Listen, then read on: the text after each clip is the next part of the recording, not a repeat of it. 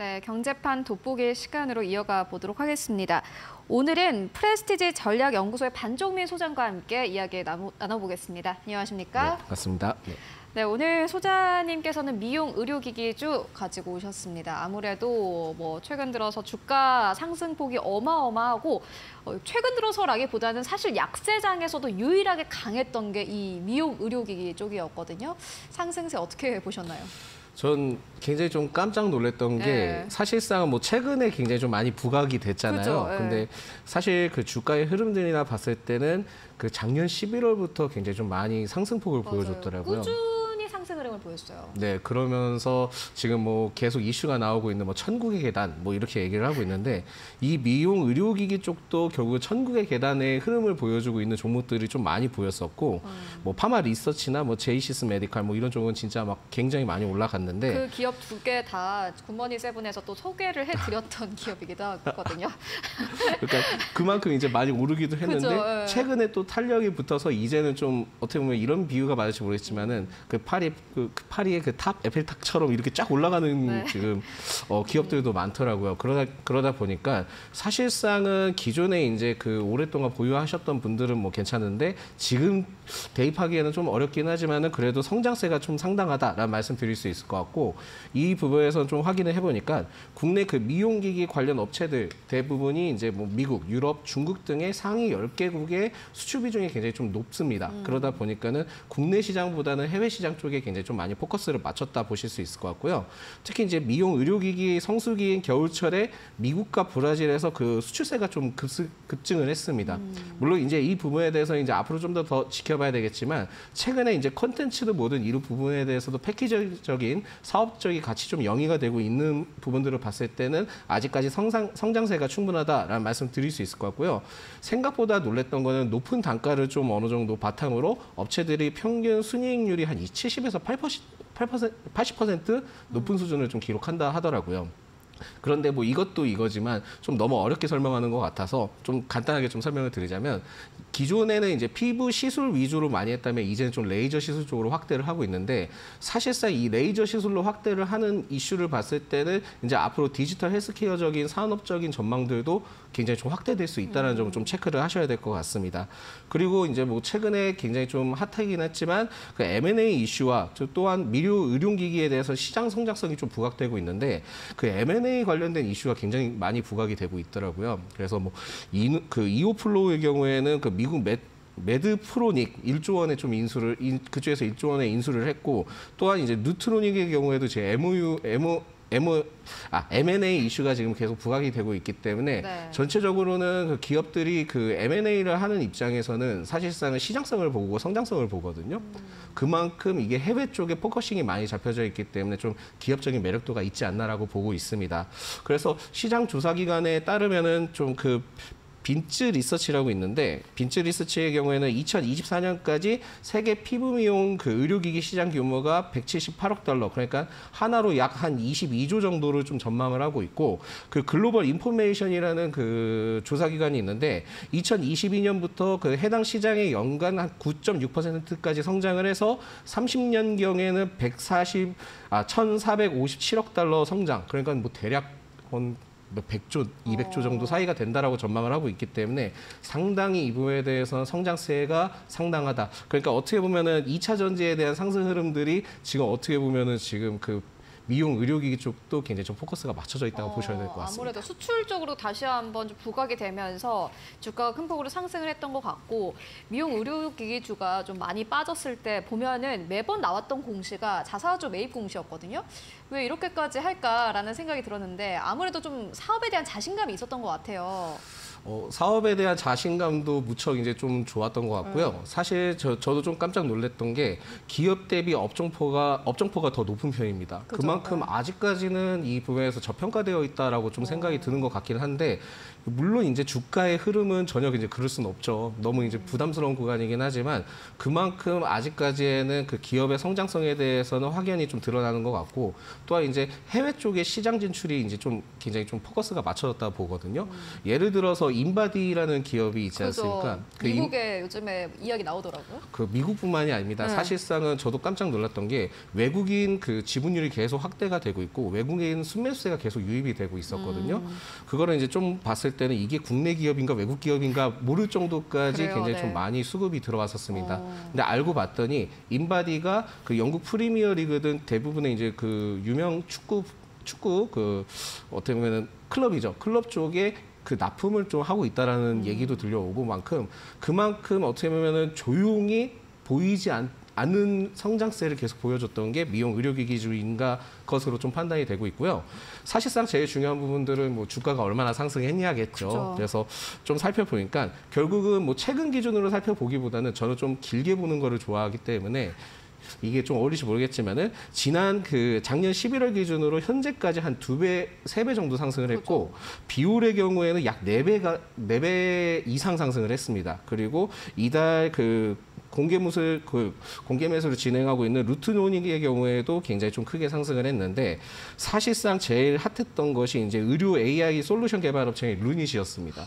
루닛이 다섯 배 이상 상승했고 뷰노도 다섯 배 이상 상승을 했던 점을 봤을 때는 지금 관련된 그 섹터들 중에서 계속 상승을 했던 흐름들 에 대한 기업은 계속 연이어 천국의 계단을 지금 보여주고 있다라고 좀 보시면 될 것 같습니다. 어, 아무래도 주가 상승폭이 어마어마하고 어, 요 성장성을 미리 알아보셨던 분들이라면 아마 큰 폭의 수익을 내셨을 거다라는 생각이 드는데 루트로닉의 주가 방향은 현재 시장에서도 굉장히 큰 관심사예요. 어떻게 보세요? 어, 뭐, 이 주가는 변하진 않을 것 같아요. 그래서 공개 매수가 지금 본격적으로 진행이 되고 있기 때문에 여기에서는 뭐 어떻게 뭐라고 얘기는 못 드리겠지만 그 결국은 실적적인 부분들은 계속 앞으로 좋아질 거라는 가이던스가 좀 나오고 있습니다. 그래서 사실상은 실적은 굉장히 좋은데 아쉬웠던 게 이제 다른 그 오스템 임플란트처럼 뭐 프리미엄이 굉장히 많이 붙거나 하지 못했어요. 네. 그러니까 생각보다 공개 매수가 어, 갑작스럽게 딱 튀어나오면서 어, 끝나버렸고 그 가격이 생각보다 높지는 못했기 때문에 결국은 좀 여기 주가에서는 그냥 끝날 것 같다라는 말씀 드릴 수 있을 것 같고요. 그 공개 매수는 이제 다음 달 14일까지 좀 진행을 합니다. 특히 이제 한앤컴퍼니가 루트로닉의 현 최대 주주 지분을 인수를 해서 공개 매수를 절차를 통해서 최대 100% 지분을 확보하기 위해 좀 노력을 하고 있고 그걸 통해서 이제 상장 폐지, 자진 상- 상장 폐지를 좀 전환할 예정인데 네.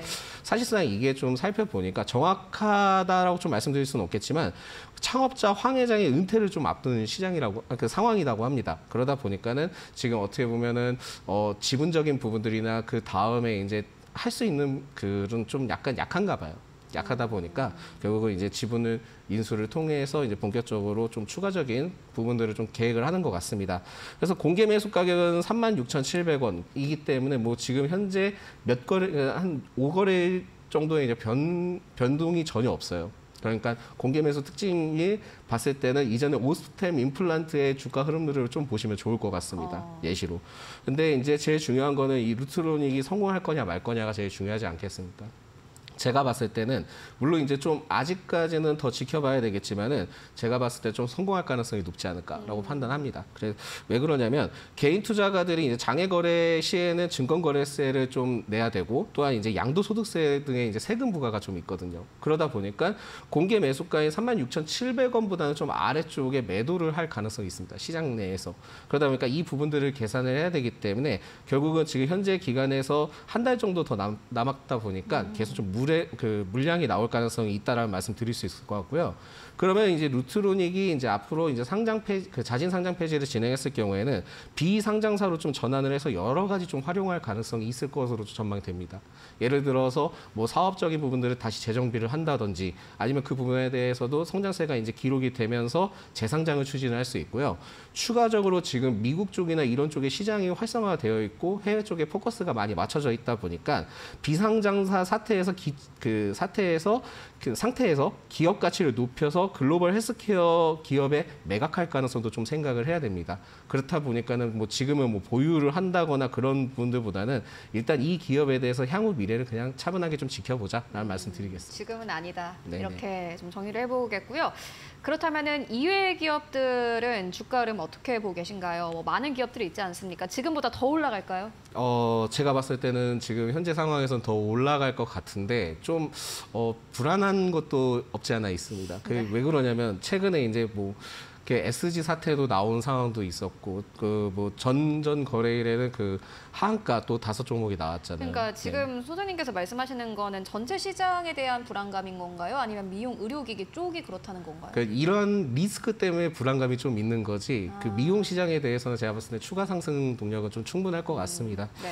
어 그래서 이제 고주파 미용 의료기기 그 원태의 경우에는 연간 영업 이익률이 한 32% 정도 됐었는데 이게 앞으로의 이제 영업 적자 관련된 부분들이 등 여러 가지 흐름들을 봤을 때는 눈이 또 흑자를 좀 기록을 할 가능성이 있습니다. 음. 그만큼 지금 시- 그 재무적으로 굉장히 좀 성장 가능성이나 이런 부분들이 많기 때문에 앞으로 그 리우 그 미용 기기에 대한 상승은 좀 더더 노려볼 수 있겠다라는 말씀 드릴 수 있을 것 같고요.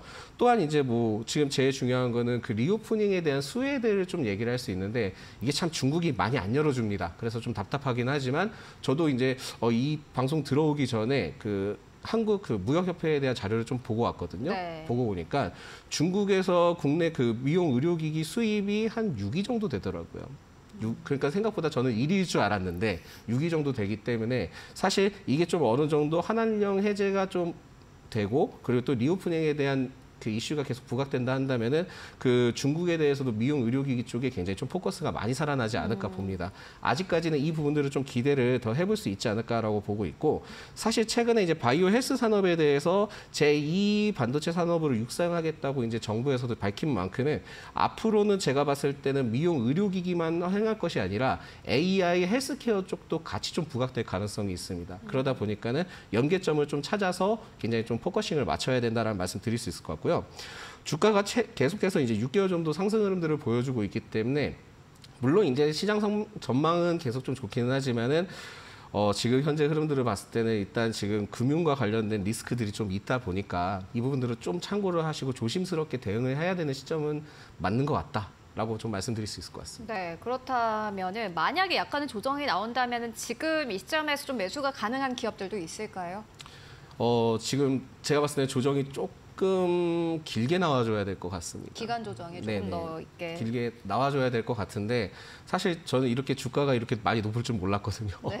저희 자다 일어나 보니까는 아, 자다 일어나 보니까도 아니죠. 한 그 시즌이 지나니까 되게 굉장히 많이 올랐는데 사실 지금 상태에서는 뭐 만약에 이제 그 단기적인 접근을 통해서 한다면 비중을 적게는 충분히 가능해요. 근데 이제 갑자기 세차게 몰아쳐서 막 30% 50% 이렇게는 좀 많이 리스크 하기에는 어려우니까 제가 봤을 때는 신규 진입 시에는 적은 비중으로 지금은 매수 포인트가 가능하다라고 좀 시점을 바라보고 있고요.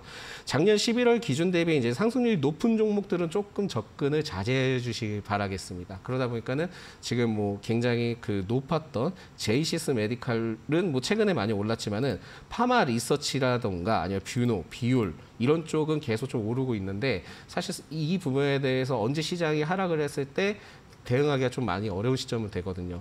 그렇기 때문에 지금은 어, 아직까지 덜 부각됐던 최근에 부각됐던 뭐 이루다나 아니면 하이로닉 이런 쪽으로 좀 많이 보시는 게 좋을 것 같습니다. 물론 이제 여기 이 기업들도 이제 아무래도 성장세는 있기는 하지만 네. 사실상 지금 뒤늦게 따라왔기 때문에 비중을 그렇게 많이 실으시면 안 될 것 같고요. 특히 이루다의 경우에는 그, 그 홈케어 관련된 그, 시, 그 제품이 있는데 그게 이제 현대백화점에도 입점을 했고 네. 이제 앞으로 좀 면세점에서도 좀 입점을 한다고 합니다. 그러다 보니까 좀 기대를 해볼 수 있겠다. 그렇지만은 역시나 지금 천국의 계단과 다르게 지금 그 에펠탑과 같이 올라가는 종목들은 좀 조심을 해야 되겠지만 그래도 단기 관점으로는 매우 괜찮을 것 같다라는 말씀 드릴 수 있을 것 같고요.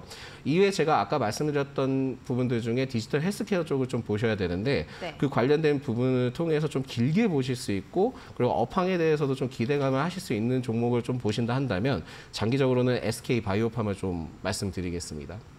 어, 이유가 뭔가 요게 CES에서 좀 이야기가 나오지 않았습니까? 네, 그렇죠. 네. 특, 그 굉장히 좀 상도 받고 뭐 그렇긴 했지만 사실 세노바메이트가 실적이 좀 굉장히 좀 잘 나와주고 있어요. 그러니까 내전증 치료제가 잘 나와주고 있는데 이게 이제 가면 갈수록 지금 영어 적자 폭을 좀 축소할 상황들이 어, 있습니다. 네. 그리고 흑자 전환의 가능성도 있다라는 점을 좀 올해는 좀 챙기셔야 될 것 같은데 사실상 SK 바이오팜의 이제 두 번째 부분들을 봤을 때는 디지털 웨어러블 이 부분에서 뇌전증 치료제 관련된 치료 기기예요. 이게 지금 어 굉장히 좀 오래 걸리 상용화되려면 좀 오래 걸릴 수는 있긴 하겠지만은 네. 그만큼 이 기업에서도 굉장히 좀 많은 노력을 하고 있기 때문에 정부 정책과 연관된 점을 봤을 때는 굉장히 이제 뭐 나쁜 모멘텀보다는 좋은 모멘텀이 장기적으로 많이 놓여 있다라고 생각을 하시면 될 것 같습니다. 그래서 SK 바이오팜은 계속 좀 눈여겨 보시면서 접근하시면 좋겠다 말씀드리겠습니다. 네, 알겠습니다. 뭐 최근 미용 의료기기 쪽이 잘 가고 있지만은 AI 의료 쪽도 계속해서 좀 장기적으로 봐야 될이 업종이다라는 부분 함께 듣고 왔으니까요. 참고해 보시면 좋을 것 같습니다.